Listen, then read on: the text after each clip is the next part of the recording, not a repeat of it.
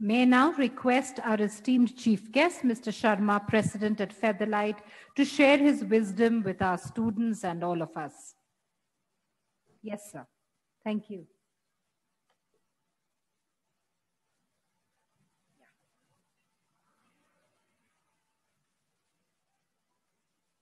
Namaste, distinguished leaders, faculty, and staff, and dear students.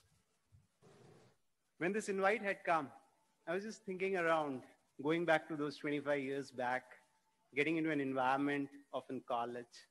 And believe me, the excitement, the energy levels, what I have seen here, it was something, a dream coming true. I think it was amazing to be a part of this evening and I loved it.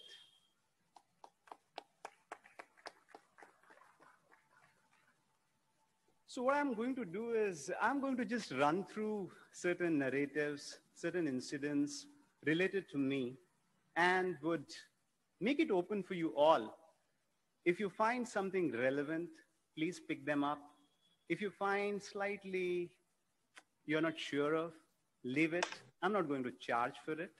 So this is just an open insights which I wanted to just share with you all. And uh, I think just listen for a certain time and I feel really privileged that you're all listening to me because there were the days when I always used to be part of that side, not here. Things are changing. So let me go back when I was, you know, as far as memories are concerned, when I was eight, I was in eighth standard. And what I remember was I was more associated with sports, moving around, playing around. And one fine day, my class teacher comes and says, Hey, Satish, you need to read the news in front of the school assembly tomorrow. I was surprised. I said, Madam, why me? What did I do? And for a day, I was just thinking around. And then I said, eventually, I'll go for it. And I'll read the news in front of school assembly. And then the feedback was, hey, he read the news nice, but the content could have been better. And of course, I borrowed the content from the friend. But what I'm trying to tell you is the chance what my school teacher gave me in the standard 10 became one of the founding inspiration for me to get into the crowd and talk to them what I feel. And relatively, then I just moved on certain cultural programs and then science exhibition. And when I look back, I feel unless that class teacher, Esther, would have given me a chance to come out openly and talk, possibly I wouldn't have actually tried for it. So what I'm trying to tell you is life gives you opportunities. They actually come up and knock your door, grab that opportunity. In career also, opportunities would open up. And especially when your colleague, your friends in the family look forward something sharp in you, something different in you, and then ask, hey, why don't you do this?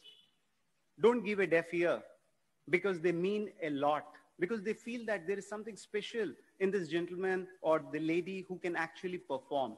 Just go for it. I have been doing this. I do not know uh, how many of you remember when you were in standard 10th, your parents would say, hey, beta, you know, or Betty, just go ahead and get the good marks. Life becomes comfortable. You do it. You move to 12th and then they say, hey, give your best. Life will become very easy for you. You go ahead and do it. Slowly you land up in graduation. And then they still say, hey, exams are coming. Go and give your best. And it continues even in MBA post-graduation. And then you think, oh, is it going to stop here? No. It's going to start from here.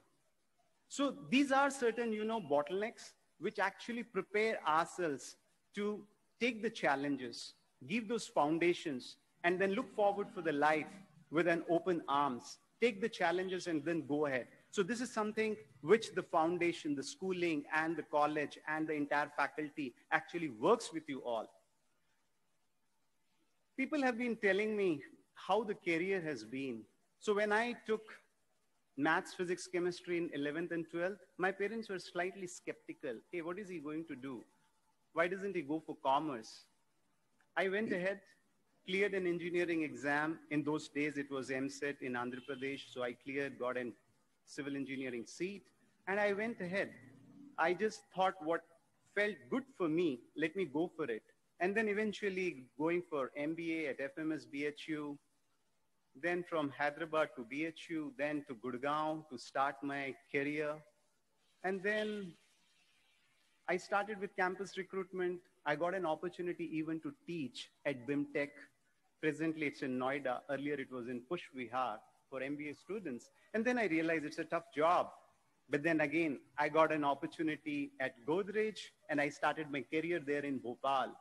Kept moving from Bhopal to Chennai, started with opportunities in the functions like sales, going to logistics, dispatching containers, going even to the shop floor, understanding how these three shifts work.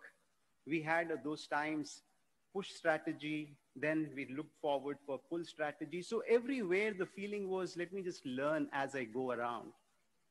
Why I'm saying this is there is no clear funda in terms of in success. You need to get attached to a function or to a place. Keep yourself open. Go embrace the new things, how the world is changing around. And you feel that you're enjoying it, go for it. It's not something that you need to be a part of a section or a function and throughout the year you need to be there. You can be as open in terms of embracing new things. So that's what I have been doing.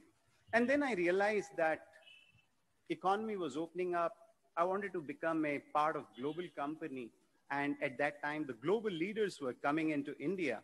And I thought, oh, let's move on. So I got an opportunity to work with global leaders in the furniture industry. And uh, I enjoyed. At that time, I moved out of the comfort zone. Once upon a time, in 2008, my homes were in two cities. I was in Bangalore, the family was in Chennai. So that's how the life actually gives you the opportunity to move on. And I think one should actually move on what one feels good. It doesn't matter if you are holding out at a place or different places. Each individuals are different. So you need to be open for it, embrace the new things. And today, I am a part of Featherlite, taking care of the sales and marketing for India and abroad. The other areas which come to my mind is when you get an opportunity to work in a corporate, look forward for the mentors who can really make a difference. In fact, three years back, I was in Mumbai.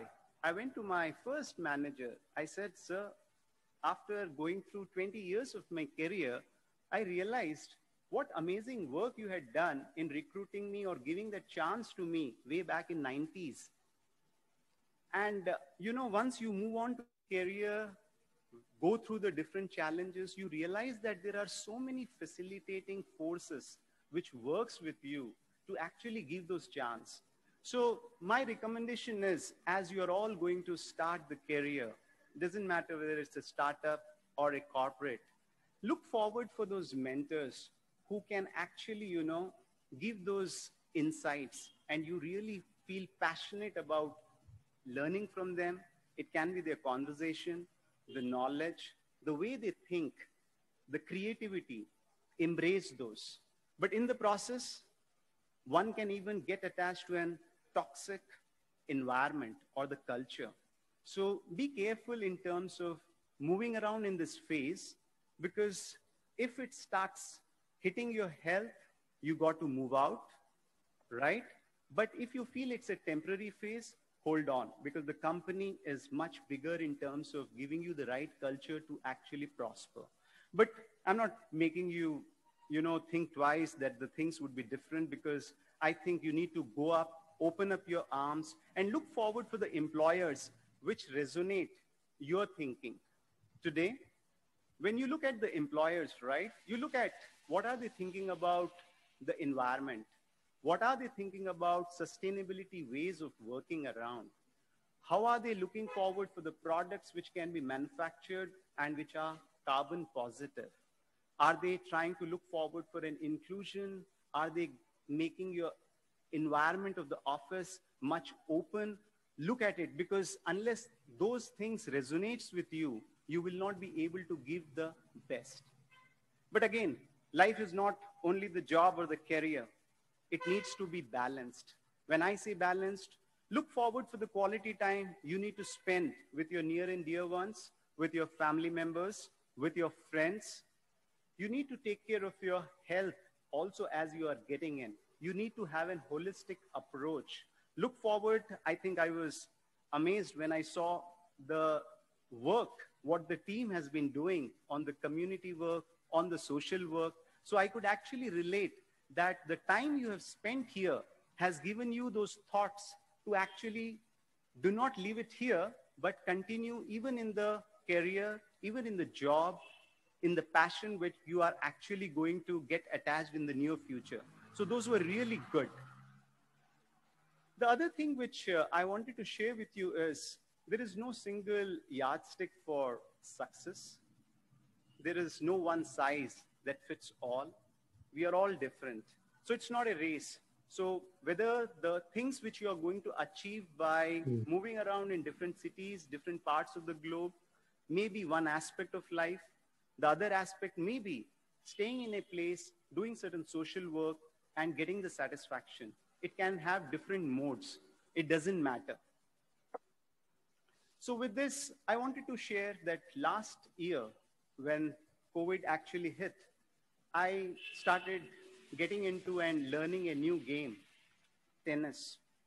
So last one year, I learned that game and I realized that especially the stalwarts such as Roger Federer, Djokovic, I mean, the respect for them exponentially grew when you start knowing what do they do actually, right? So learning is never going to stop. You need to keep embracing new things. Think about the job, think about the career, think about the sports, think about the cultural aspects, what you're seeing. Make it a part and parcel of your life as you're going along.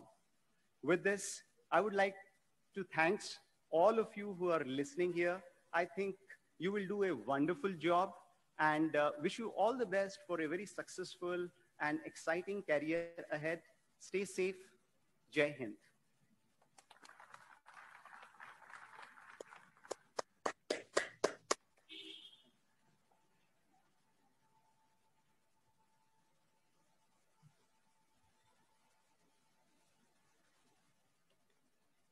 Thank you so much, sir, for those very, very inspiring words. Hearing about your journey and all your experiences and what you've learned from them, I'm sure our graduating students will certainly